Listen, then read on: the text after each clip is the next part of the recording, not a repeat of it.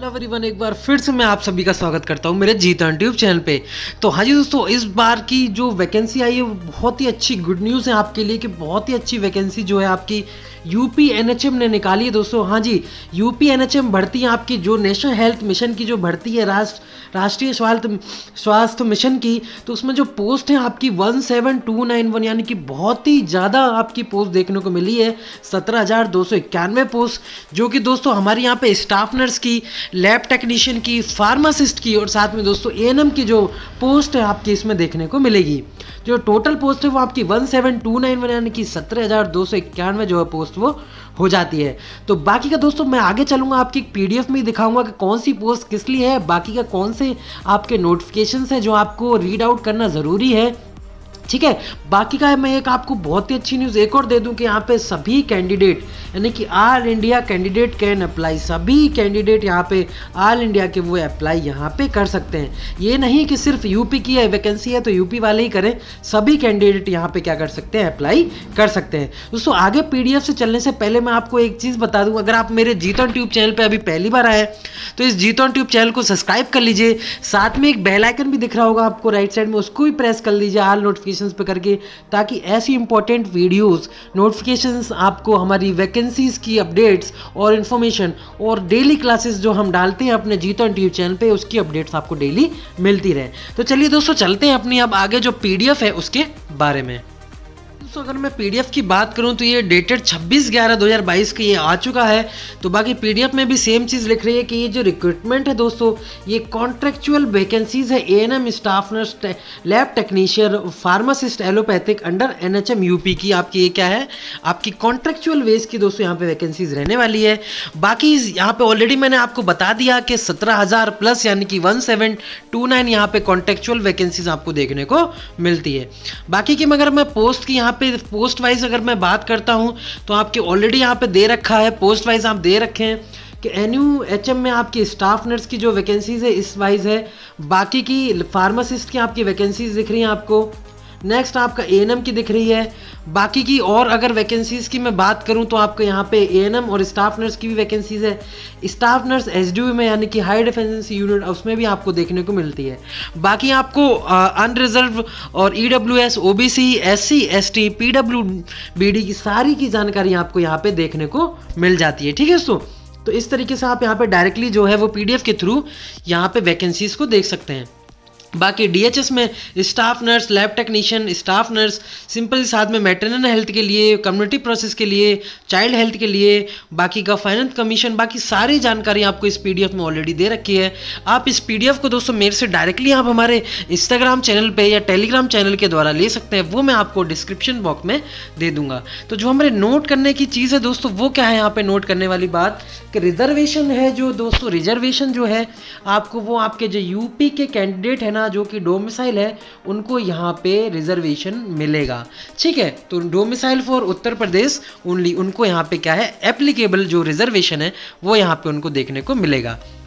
बाकी का जो कैंडिडेट यहाँ पे यूपी से बिलोंग नहीं करते हैं तो उनको क्या है दोस्तों, किसमें आपको अनरिजर्व कैटेगरी कैंडिडेट में यहाँ पे आपका माना जाएगा। ठीक है, ये सारी चीज़ मैं दे दी तो सभी कैंडिडेट क्या है इसको अप्लाई यहाँ पे कर सकते हैं। बाकी का दोस्तों, एक और चीज़ यहाँ पे लिखी है only female candidate can apply for A N M position ये आपको देखने को मिल रही है।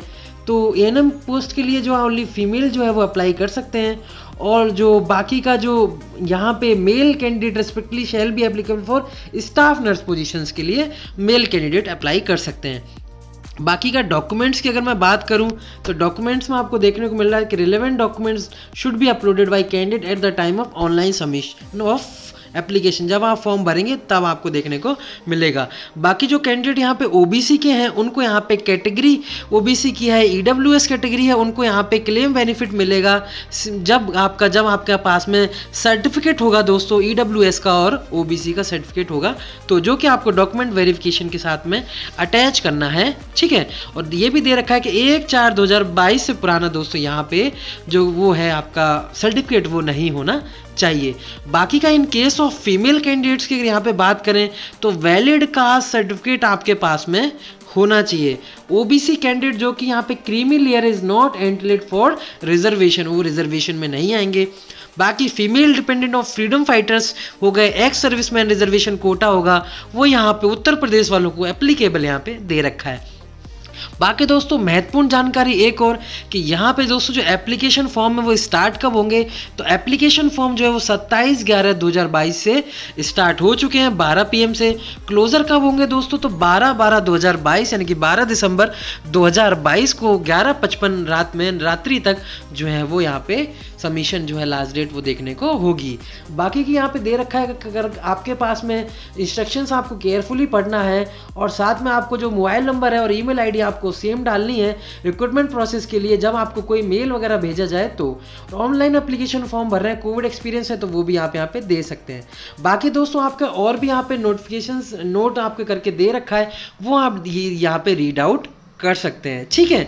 बाकी के दोस्तों, यहाँ पे अगर मैं बात करूँ कि क्वालिफाई मिनिमम मार्क्स आपके लिए यहाँ पे होने चाहिए, जो कि यहाँ पे सी यानी कि कंप्यूटर बेस्ड टेस्ट जो यहाँ पे होगा।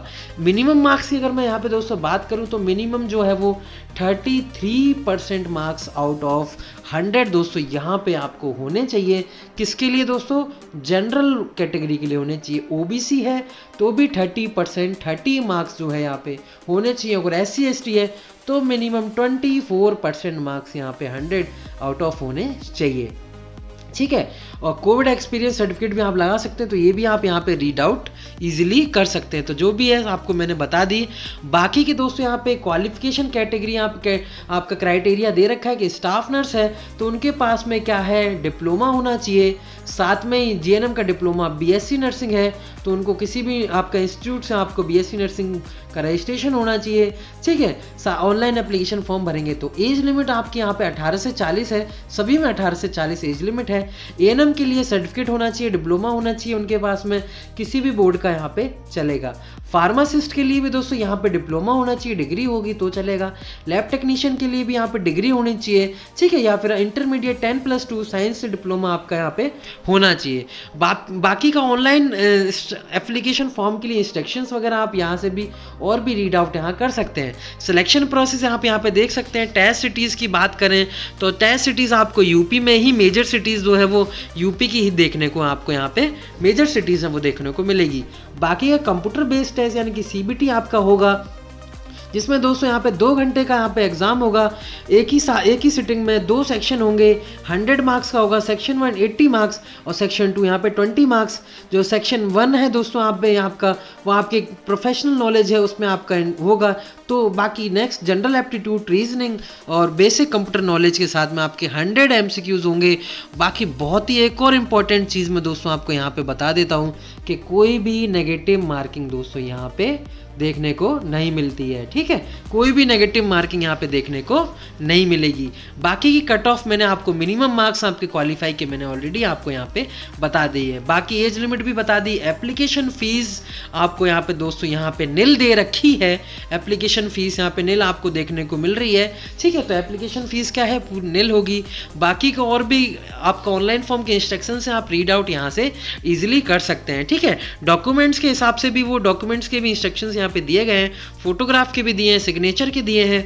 अदर सर्टिफिकेट्स भी आप कितने के भी, में तो सारी जानकारी दोस्तों आपको एक ही जगह आपको यहाँ पे देखने को मिलती है। ठीक है तो ये थी दोस्तों यहाँ पे जानकारी जो कि मैंने आपको अपने यूट्यूब चैनल के माध्यम से दे दी गई है।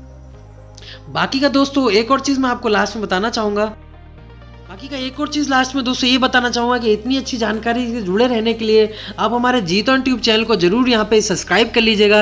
ये जीत ऑन ट्यूब चैनल मैंने आपको दे दिया गया है। बाकी के डिस्क्रिप्शन बॉक्स में मैंने आपको लिंक दे दी है टेलीग्राम चैनल की इंस्टाग्राम चैनल की।